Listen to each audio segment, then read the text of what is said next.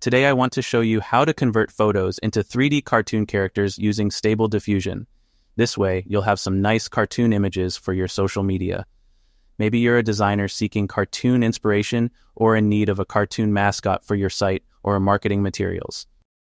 You'll need to download a model called Wildcard Animation Version 2 from the Civitai website. Click on the download button and save it in your Forge folder. Look for the Web UI folder then navigate to Models, and finally to Stable Diffusion. Save the downloaded file in that folder. As you can see, I've already downloaded it. After it's downloaded, it may take a few minutes since it's quite big. You can find it in the Stable Diffusion checkpoint drop down menu. If it doesn't appear, hit refresh, and then you can select that model. This model is proficient at generating cartoon images. For example, if I try to generate a cartoon cat, I get something like this click on the image to image tab and then upload your own image. In my case, it's a photo of a princess. Add a prompt that describes the image, mentioning the objects you want to appear, such as the crown and the veil. And then to ensure it becomes a cartoon, add the text, a professional 3D design of a cartoon, followed by the subject, which can be a woman, car building, or anything else. After that, add extra Pixar art style to achieve a nice, clean 3D cartoon look. For the negative, you can find an example on the model page. Copy that text without the quotes and paste it into the negative prompt area.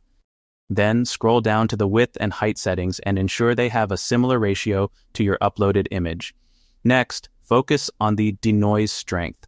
Start with 0.35 if you want the cartoon image to closely resemble your original photo and increase it up to 0.6 for a more distinct result.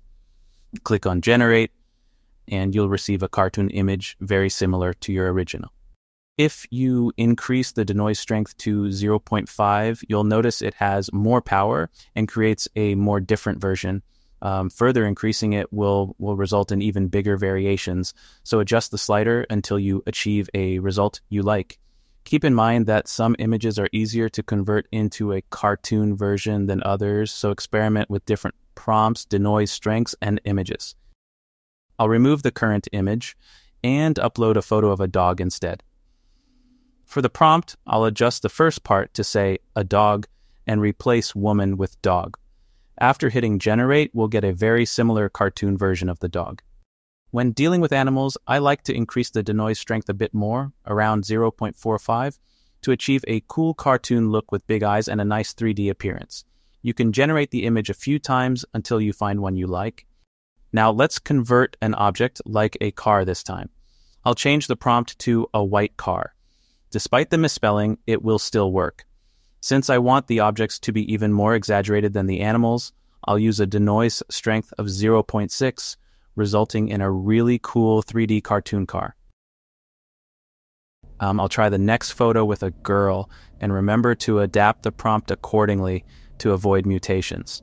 Since people typically need a lower denoise strength compared to animals and objects, I'll adjust the strength for the girl to achieve a similar look.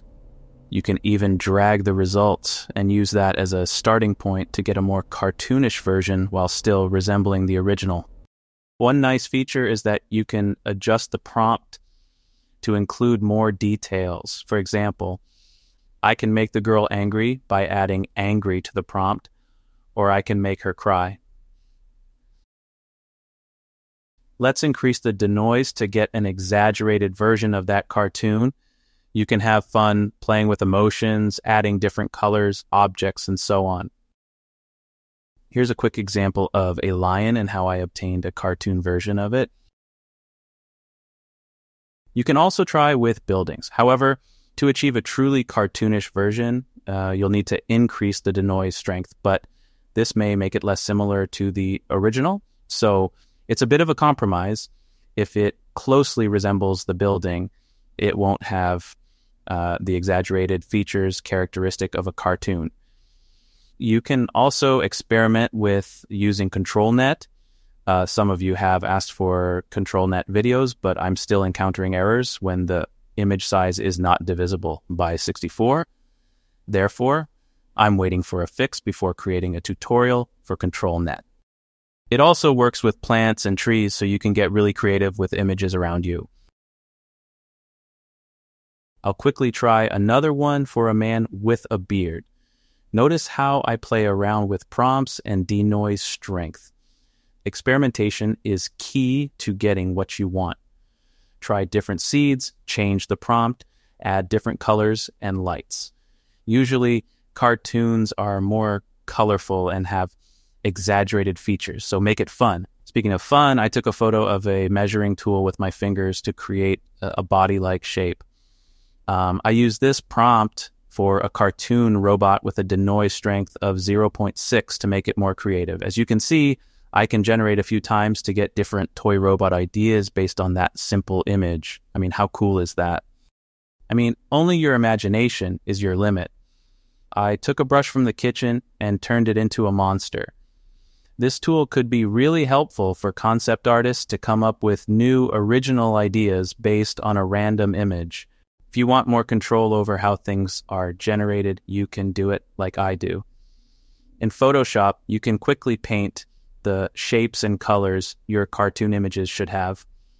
For example, here I used a hard transfer brush to quickly sketch the shape of a monster head. It took less than a minute to create a rough sketch. Squint your eyes, and when you can see the basic shapes, you can copy that image and paste it into Stable Diffusion. Here you just uh, add a prompt that describes what you want to create. Uh, and with a denoise strength of 0.5 in my case, you can generate a few versions to see what you can come up with. I just noticed the initial sketch was too small on the canvas, so I enlarged it in Photoshop to fit better. Then I pasted it back into stable, uh, stable diffusion and generated it again to get a nice quality cartoon monster. Uh, it's a unique design in just two minutes. I'll use the same technique to create the YouTube thumbnail. I hope I've given you some ideas on how you can approach cartoon creation. If you found this video helpful, leave a like. Thank you for watching and for your support. Have an awesome week.